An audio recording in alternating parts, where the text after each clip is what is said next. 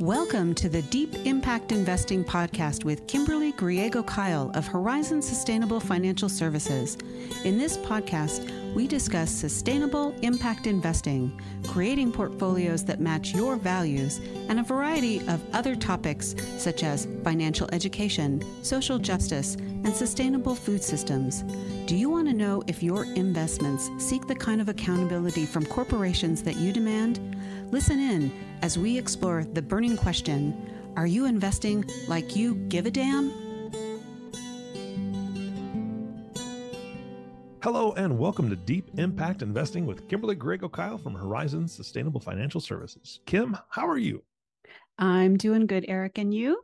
I'm doing fantastic. I'm so excited to get back together with you. We had a little bit of a break there, and uh, we're back at it. And you have brought another amazing topic to the podcast today.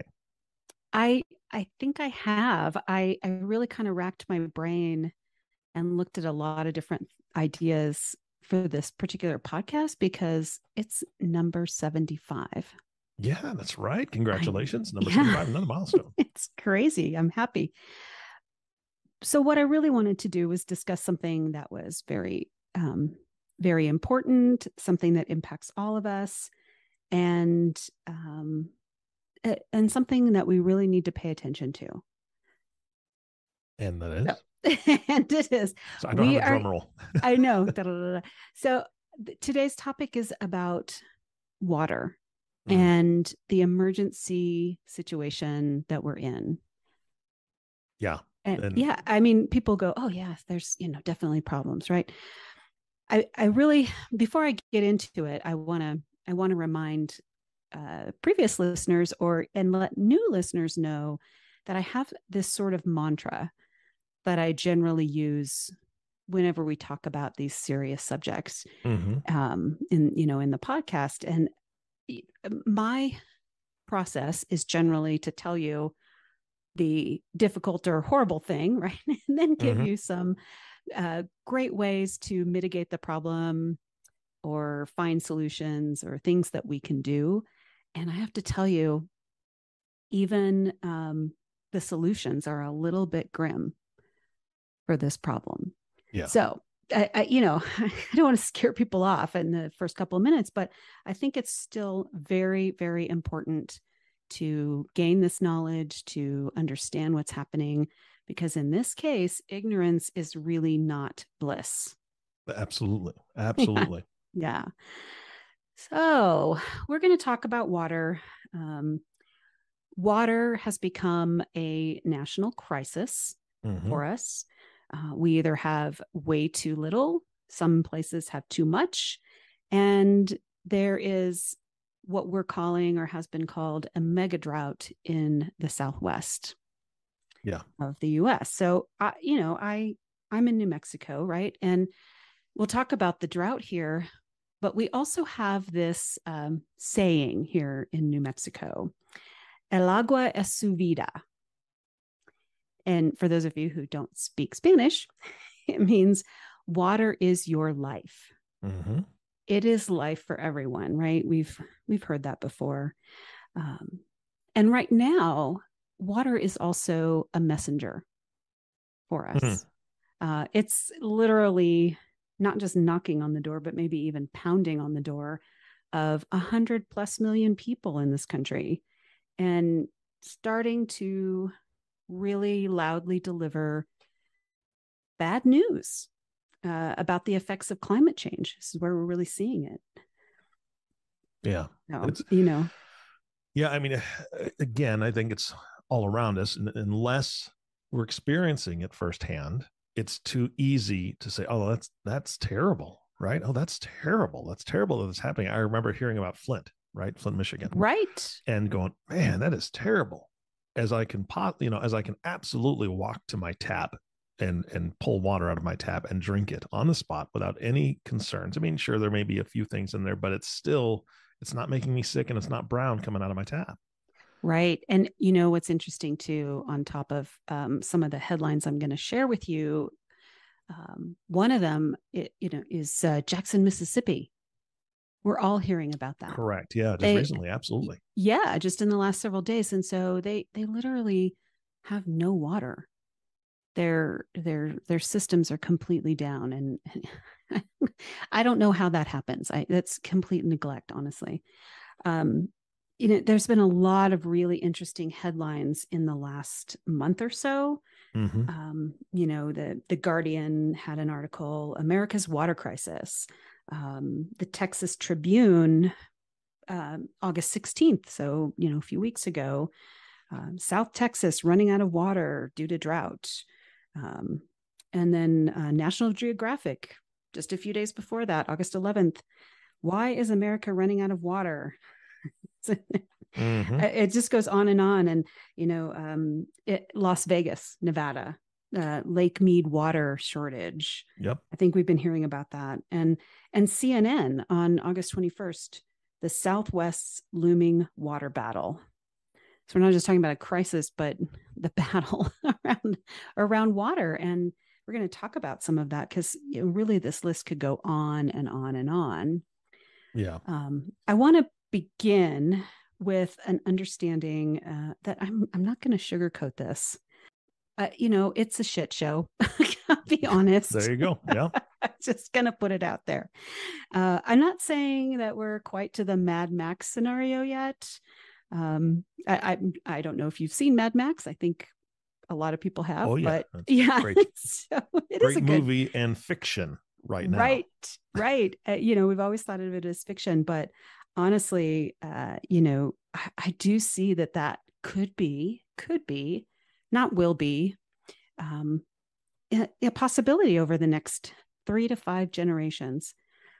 Literally, we're talking about the next hundred years mm-hmm. of this planet. And I know we've all heard it before, but it's been said many times there will be wars over water. Yeah. So it's a it's an interesting situation. And you know, I was thinking about the article, um, you know, the Southwest looming water battle, right? Uh, there's already fights happening in the US over water. Um, we've seen it in New Mexico. Um, Texas owns a lot of the water rights of the Rio Grande. And so they're able to siphon off a lot of the water that we really need here in New Mexico. Florida and Georgia have fought over water. I don't have details on that, but also Tennessee. There's been fights over water. One thing I didn't realize, Eric, is um, about a century ago in California, um, Arizona, uh, area uh, along the Colorado River. Each side, the California side, the Arizona side, they had armed state guard troops opposite each other fighting over really? water. A century ago. yeah. Jeez. Yeah. And uh, I don't think I ever read that in a textbook.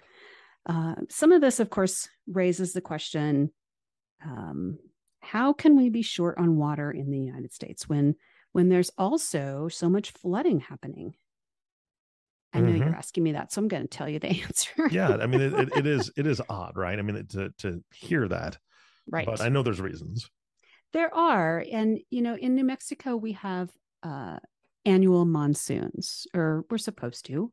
Mm-hmm. Um, over the 24 years I've lived here, I've seen it shift. We've had years like last year where there was almost no monsoon rains. And this year, where we've had really good monsoon rains for a change, because uh, we are in this mega drought, um, you know, but due to the increased rains that have been happening and also water runoff from a burn scar from the largest wildfire we have ever had in the state. Um, that is literally up in the Santa Fe National Forest. And so we've seen a lot of flooding here because of those particular things. Mm-hmm. Um, so, yeah, I know people have heard me talk about, you know, listeners have heard me talk about my rural property. And due to this mega drought, we, we recently had to remove about 15 trees, um, which, you know, doesn't sound like a lot, but it, here in New Mexico, where there's not a lot of tree growth, yeah, that, yeah. it's significant. And, you know, I thought we were doing well. Um, after having those done. But I literally have been watching out my kitchen window for the last two weeks. Another beautiful pinyon tree dying. Mm. And you can just see it getting worse day by day. And the, the reason that's happening here is due to a bark beetle infestation. This happens when we get into a serious drought situation. So hmm. I imagine if I really walked my property, I'd probably find another two dozen trees that have to come down. Um, but the, you know, it's it's frightening, it's scary, and I know how you love statistics, so I gathered some for you. All right. yeah, it's looking up already. it is. I don't think these statistics, statistic, statistics are going to be any are going to make me any happier though. I don't no, think these are good, probably, good statistics. Probably not. Um, eh, so let's talk about some of these things. You know, I, I, think a lot of people have, if they're paying attention, they've heard about Lake Mead mm-hmm. and the low water situation there.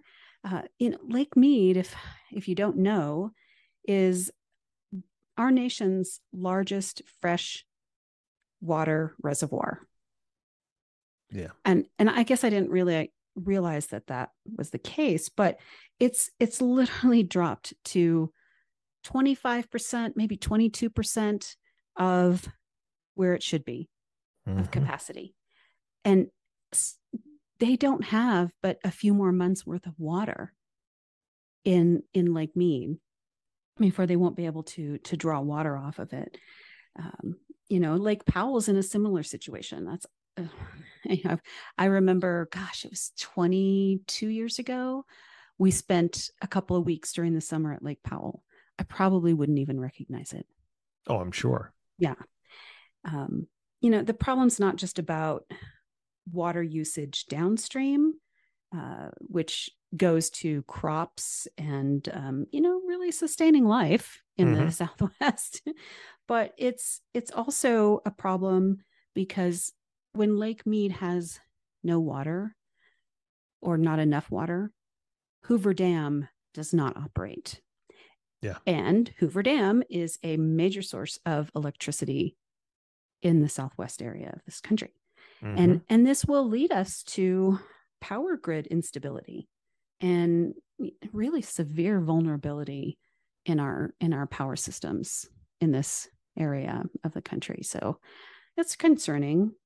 Yeah, absolutely. And I, I don't think that, uh, I'm, well, I'm pretty sure that neither Lake Mead or Lake Powell do anything for Texas. I think it's all for Arizona, California, the, the, the states that are surrounding that area, obviously. But this is not new, Kim. I mean, you, you know that, right. and this is what you're talking about. I remember um, we were looking on uh, Zillow. It was actually Zillow. I'll be honest. We were looking for properties just for fun, and I yeah. I was looking at different things, and we've always kind of wanted to to move to Texas. That's where my wife's family's from. So we had looked around, and I told my wife, I said, "Look, Candy, if if we're going to move there, I've got to be near water because I've been away from water for so long." And I found a property on a lake, and this was probably a good seven to ten years ago, on a lake, beautiful acreage. It had zebras on the property. Oh my gosh. Oh, and it had like nine buildings, way out of my price range. Not a chance. It was a huge ranch, right? Um, I can't remember how many acres, but it was huge and it was on this lake. But and, and the price was slashed, and the price was slashed, and it hadn't sold in a long time. And I was looking at it, then I did a little more research. The lake was being drained. Uh, the entire ah. the, the I mean, you could still go down to the boat, but it was probably another extra, you know, 40 feet of shoreline that was there that wasn't there before because mm the, the the the lake was continually being drained for the use of water, which is fine. People need the water, but that was a reservoir, and now it's even worse at that lake. I can't remember what that lake's name is, but I know that Texas is doing that. They're draining more and more lakes because they can't keep up with demand, and right. so it's not just you know Lake Mead, Lake Powell. These are huge issues for every state that uses reservoir or uses reservoirs for electricity. Right.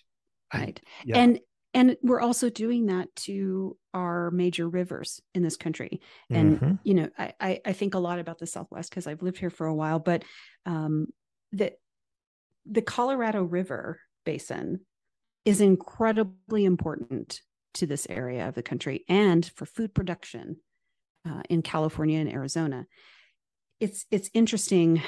Um, water goes to seven different states from the Colorado River, and you're Mhm. and, uh, yeah. So by the time you get really far downstream, there's almost nothing left, and you know there's um, uh, uh, there was a request requirement, we should say, demand maybe uh, from the U.S. government for these seven states to cut water usage from the Colorado River by forty percent Hmm.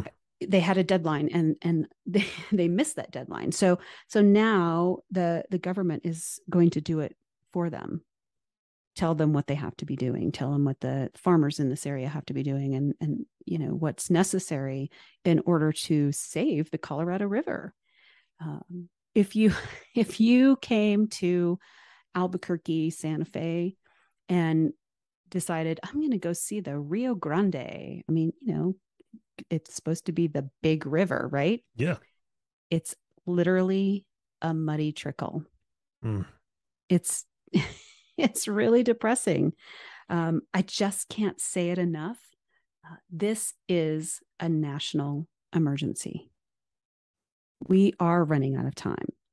Um, you know, eh, we have to think about what happens when also these downstream users um, who who have to cut this um, you know two to four million acre feet of water uh, which is re- that's what's being required. That's a lot. We're talking million. Yeah.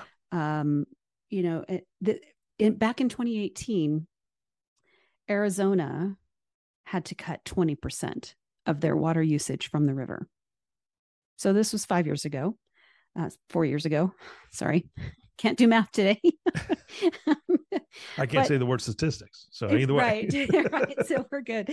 Um you know it's what happened is the farmers in arizona really had let's just going to say they had a tizzy about it and you know so um arizona said all right fine go ahead and pull from the groundwater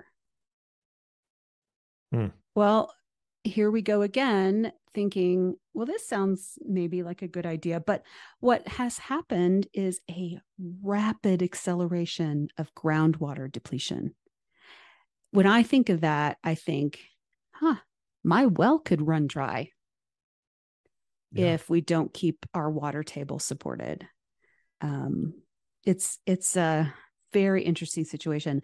There here's another real this is to me is really interesting and something i would have never thought of but when we're de- when we are depleting groundwater what happens is the earth starts to sink.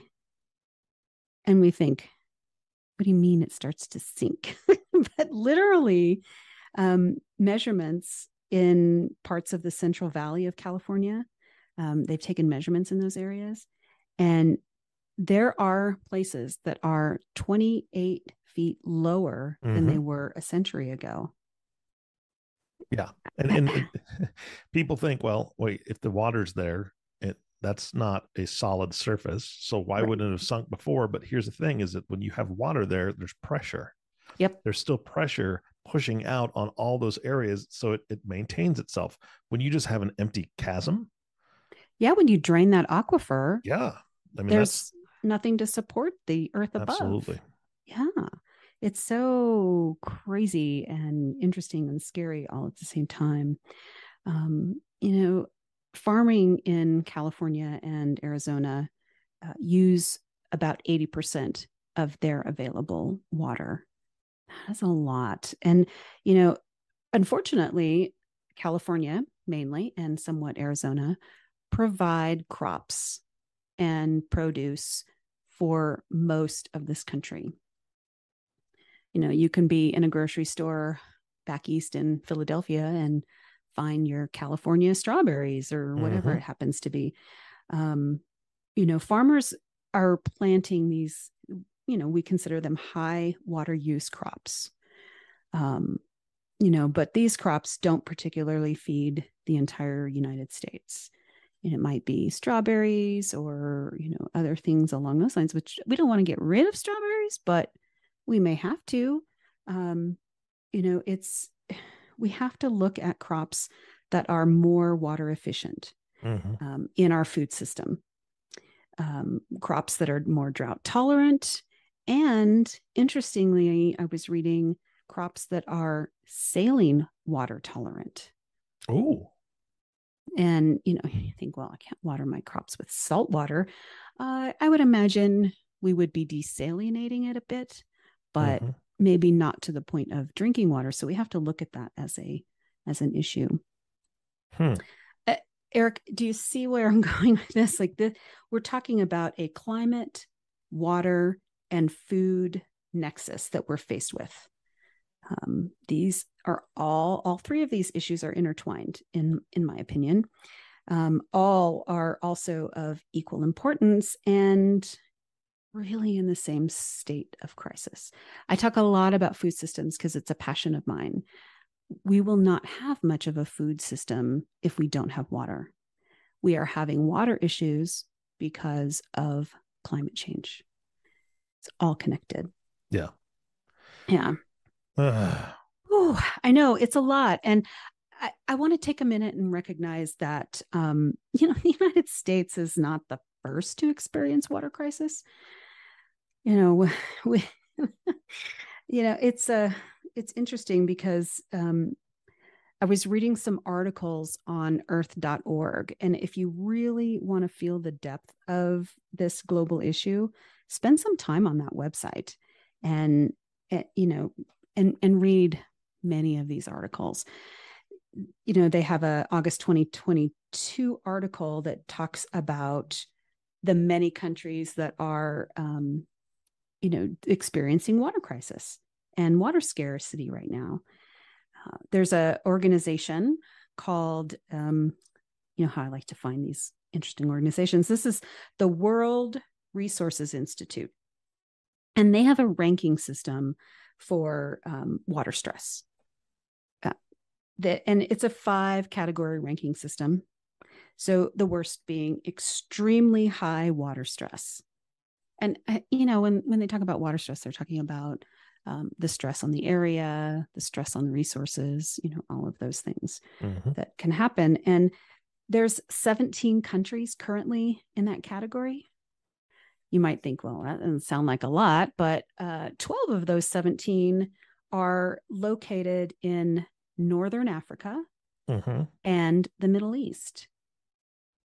I, I don't think this necessarily surprises anyone. Yeah, no, those are pretty dry know? areas, in my opinion. right um you know uh, they've had problems for probably the last century uh, and you know, so we're like okay but um that's the problem they've been having these issues with water scarcity and and water supplies for probably close to 100 years. Mhm.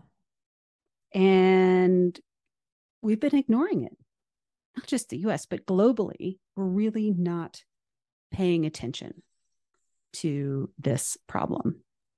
Well I, I you know that maybe this is too tongue in cheek I don't know I was thinking about you know okay we didn't actually 100% ignore it when it was happening um I don't know if you remember back in the 80s there was this unprecedented recording of Feed the World. Do you remember the song? Oh, Yeah. So huh. 40 years ago, we saw this coming and we had to gather all of these famous singers and musicians and and they had to sing about food and water crisis uh, in Africa.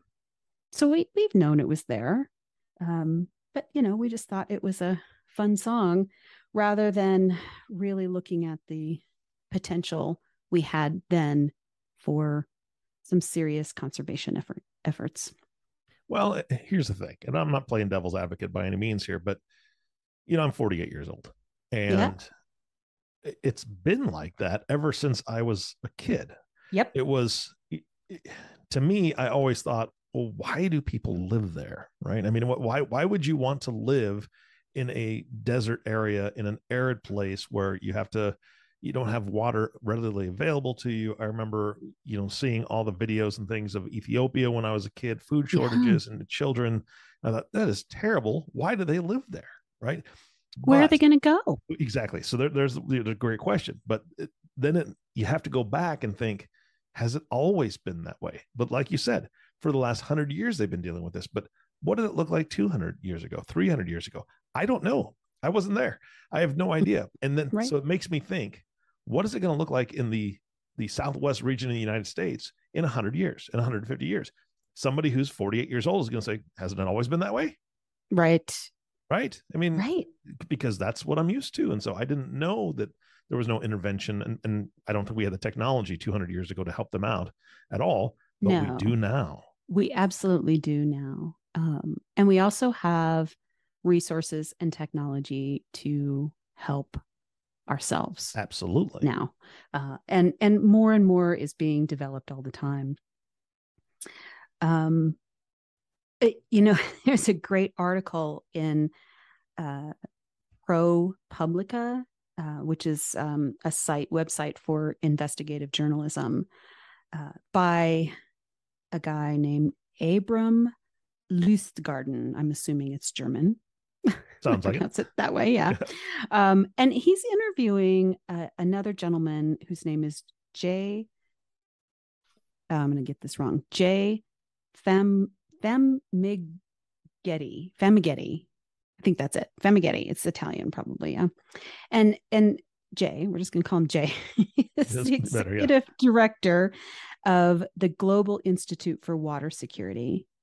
Uh, Jay does not shy away from this topic uh, of water scarcity. He mm-hmm. he really is um, a big advocate for for change and solutions.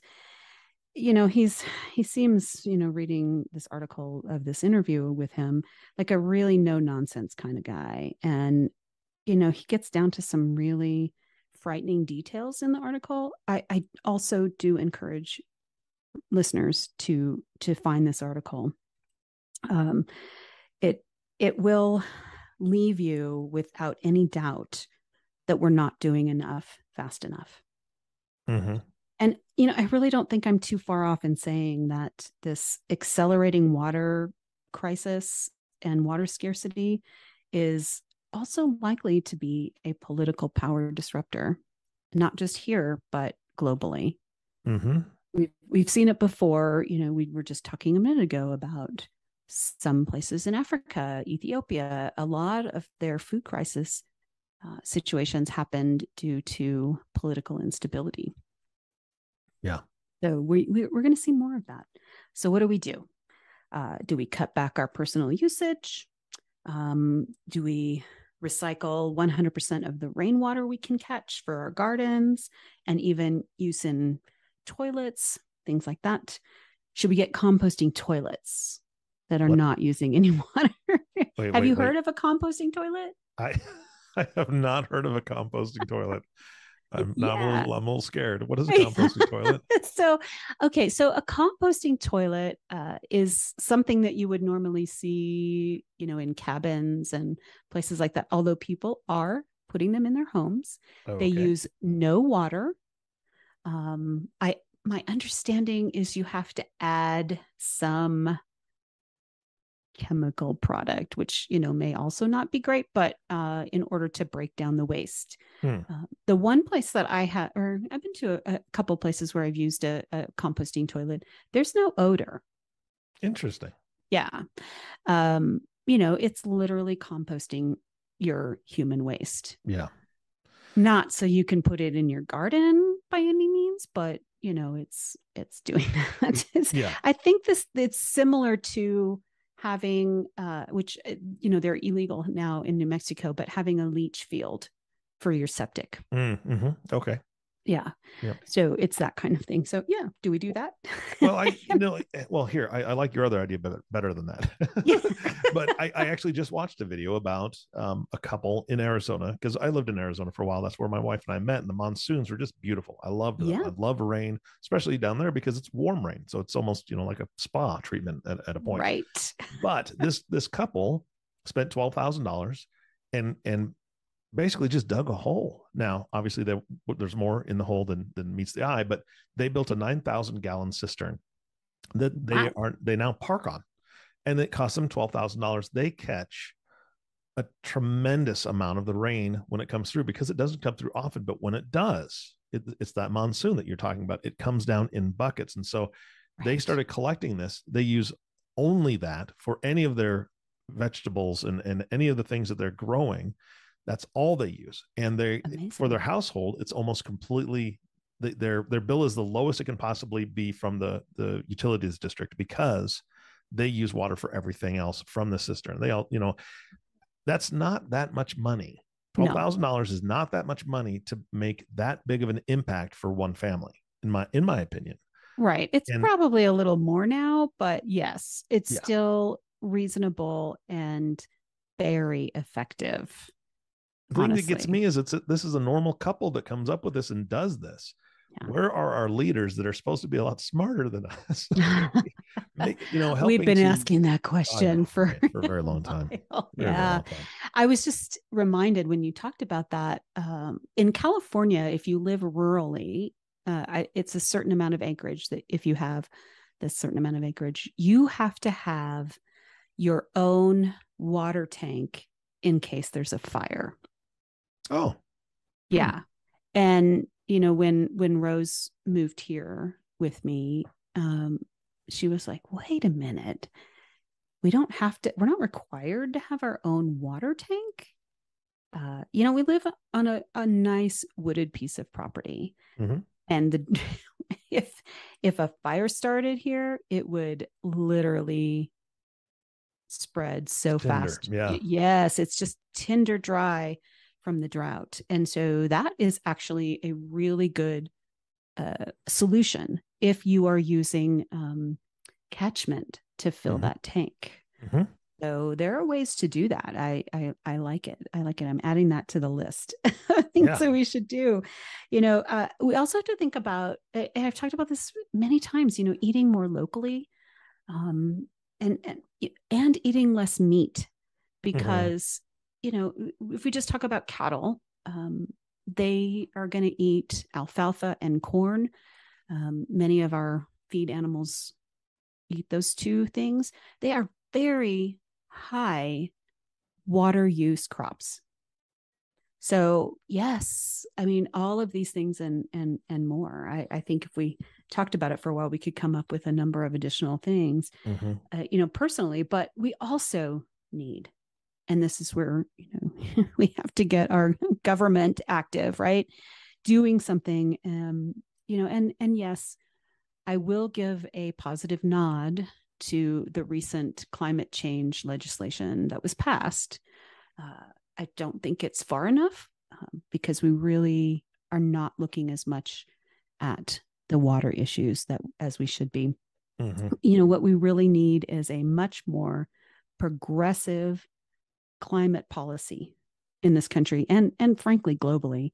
Um, one that looks at groundwater management also in addition to above water or above ground water yeah. management. So you know those reservoirs the rivers those things all of this has to be combined.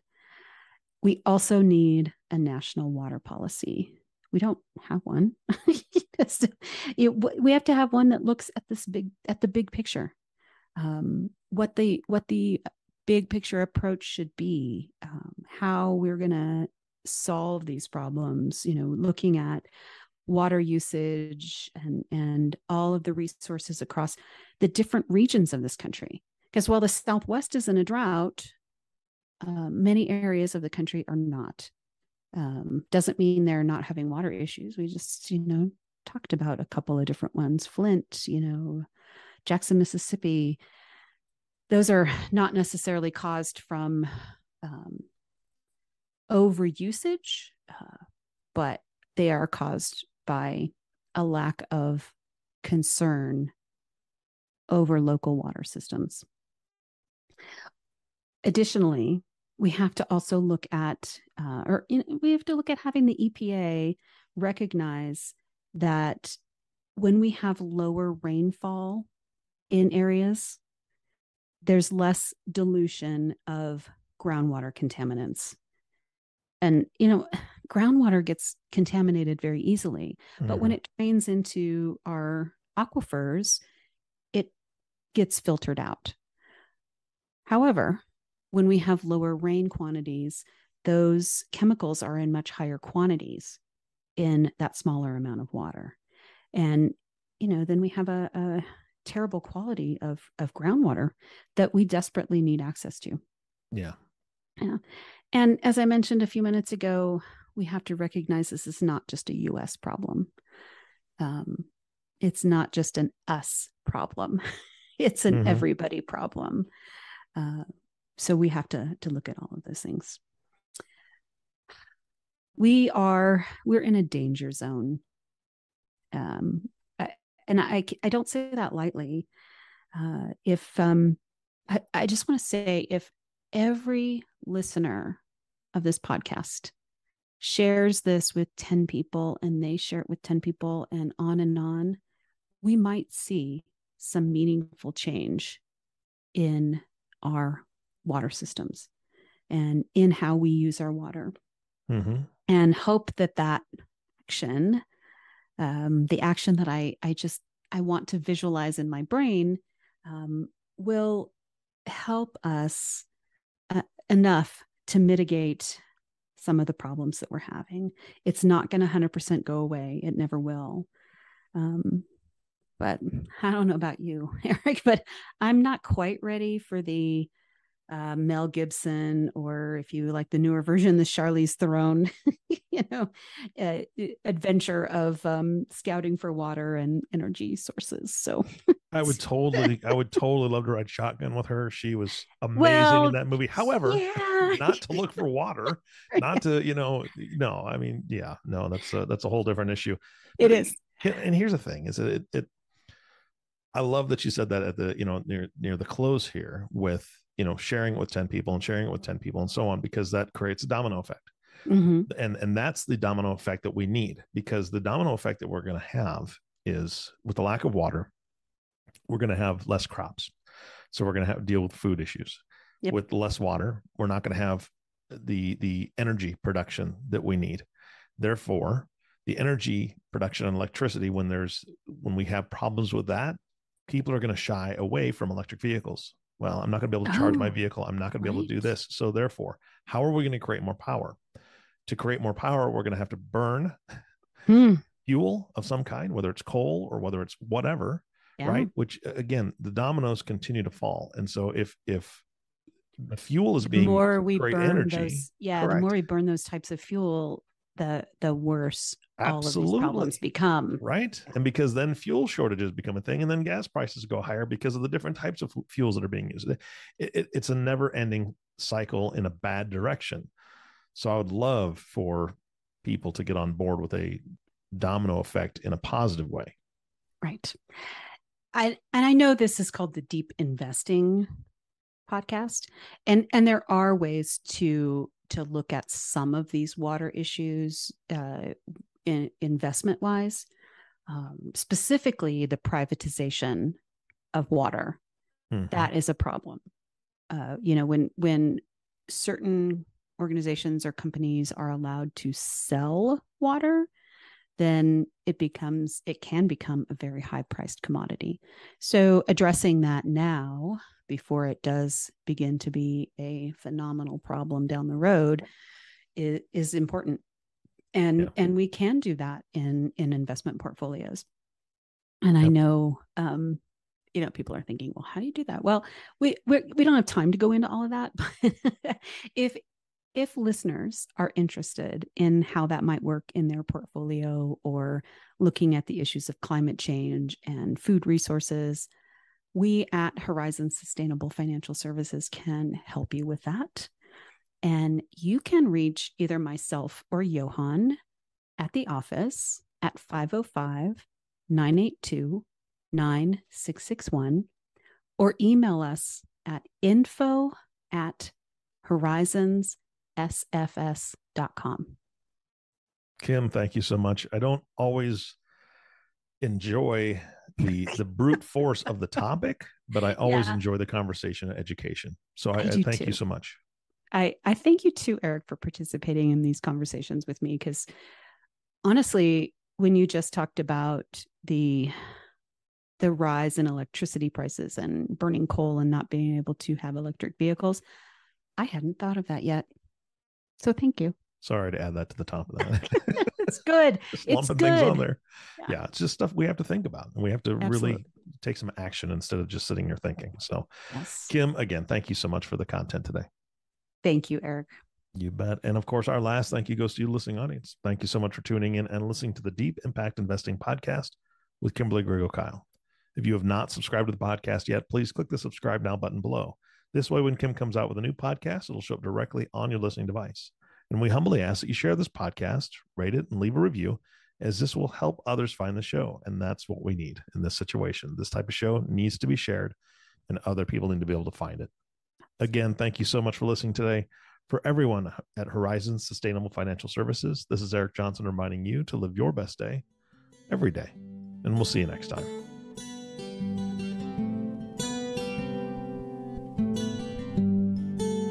Thank you for listening to Deep Impact Investing, the sustainable, responsible impact investing podcast that shows you how to invest like you give a damn.